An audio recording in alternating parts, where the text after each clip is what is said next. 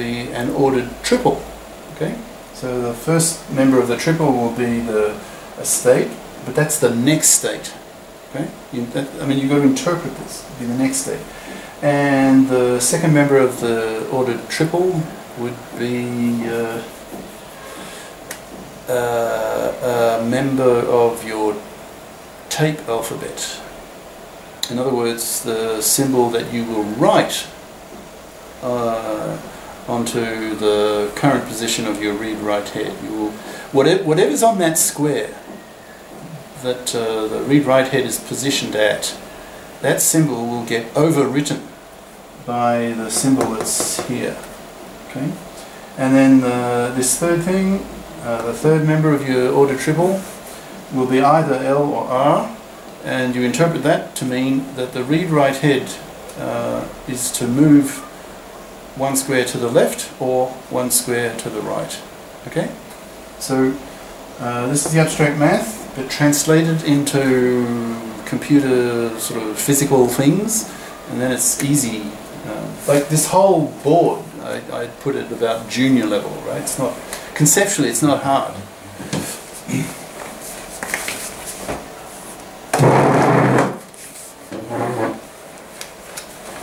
Let's let's do an actual. Okay, so uh, you you you plug in a. Uh, you're in current state little q. You're reading on the tape uh, little a. Uh, the delta function, the transition function, will deliver a uh, an ordered triple from from this set. You're mapping. Remember, what is a function? It's a mapper. It maps a member of one set into a member of another set. That's, that's, that's all it is. That's all a function is. Okay, and that's that's what's going here. So you're mapping this ordered pair into this ordered triple. Uh, current state, uh, uh, current symbol being read on the tape. Next state, uh, the symbol that will be written over, you know, like overwritten. Sorry, it will overwrite uh, this A. This B will overwrite that, and then the read-write head will move one square to the left. Okay, that's that's that's what that means. Okay, uh, well we know we know what that means. Uh, yeah, so in this case uh, we're going to move our, our read-write head. The machine will move uh, one square to the left. Okay, uh, the the A here that uh, the that was at the current position of the read-write head, it will get overwritten by the B here. Okay, so now there's a B in that square, not an A. Alright, so here's the actual uh, formal definition itself. And it's going to, it'll end up being a seven tuple. There'll be seven things in the list, in this formal list, formal description of a, T, of a TM, Turing machine. Most of it is familiar. Uh, in fact, uh, it's all familiar just a few little variations. Okay.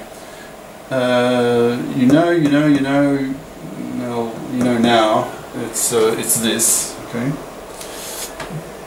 Uh, yeah, so you pretty well know all of it.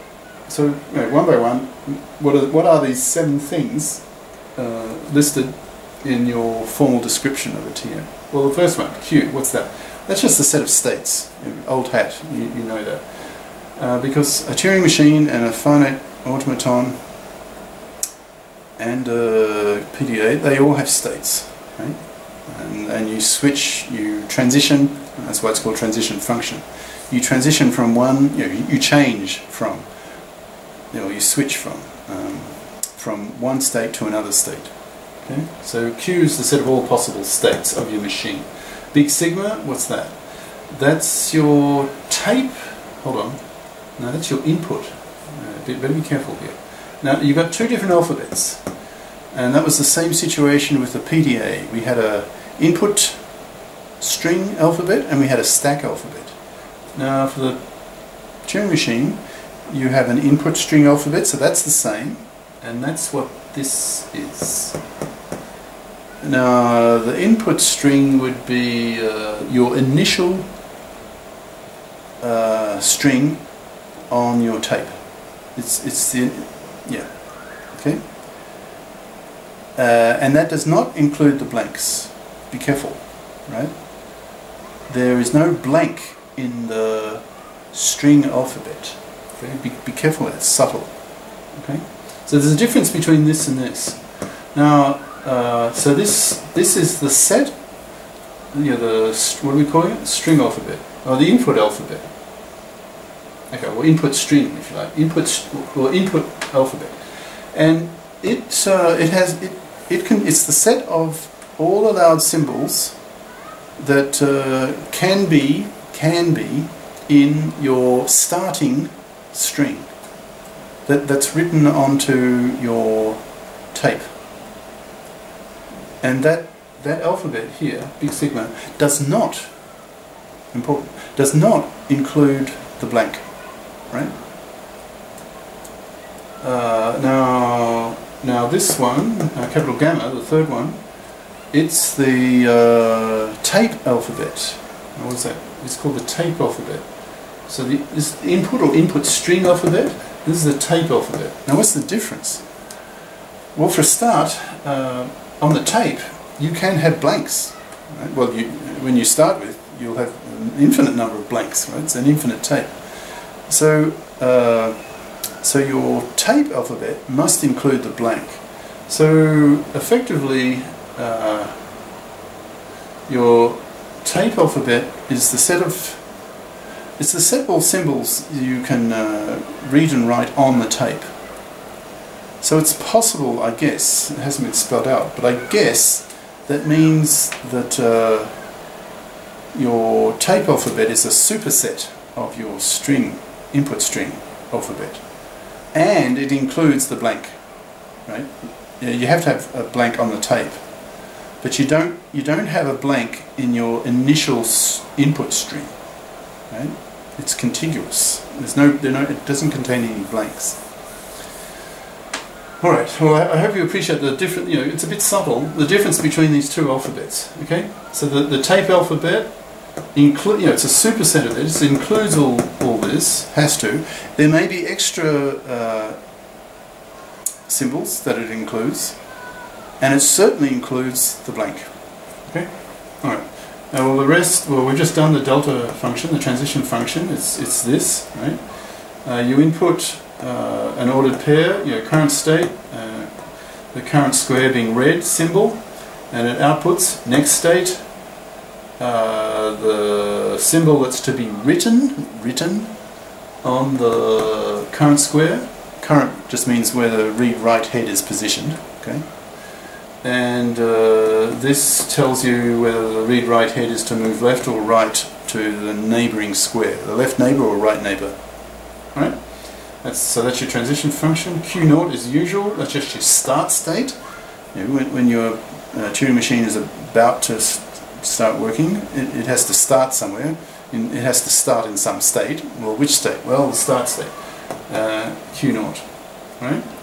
And the sixth thing, uh, Q accept. Now with a Turing machine there's only one accept state and there's only one reject state. Okay, They're not sets of, they're just one. So we don't, we don't have set, you know, this won't be a set, it'll just be, uh, well, a single state. And similarly with the reject, that will also not be a set, it'll just be a single state. Okay? So these next two are pretty easy. That's the accept state and that's the reject state. Now, it's the nature of a Turing machine that the moment that uh, the machine switches from some other state into the accept state, the machine switches off. It's done its job. It, it just stops. Or to use the technical word in uh, this context, it halts. H-A-L-T. It halts. Okay and if uh, if it's in some other state and uh, it goes to the reject state, same thing. It just stops. In other words, it halts. Okay. Oh, and be careful. This state and this state must be different. Okay. Uh, the accept state and the reject state are not the same. it's sort of saying saying here. Okay. Well, that's that's the formal definition. Now, you know, easily stated. Um, the yeah the, the as as always the guts in the problem is figuring out what the transition function is here, the delta. Well, I mean, you have to decide in the states. It's it's not yeah, it's not trivial, but you know, the the the the heart of the matter is uh, specifying your transition function, your delta. But, but you know, there are subtleties in the states, like um, you know, which states do you need? When, when do you need to, as, as you're thinking about the problem, you'll, you'll, you'll, you'll be adding new states and you'll, you'll be wondering, well, you know, okay, maybe I need a new state here in this, in this stage of the problem.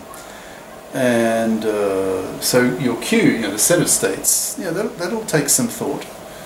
Uh, but, but as I say, you know, that's, that's the tough one, uh, the, the, the delta. So it's, um, usually these two are, are given in, in, specifying the problem.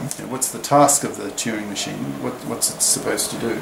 And so the, the thinking uh, uh, really involves these two, with most of it going in, oh, sorry, sorry, here, the delta and the q.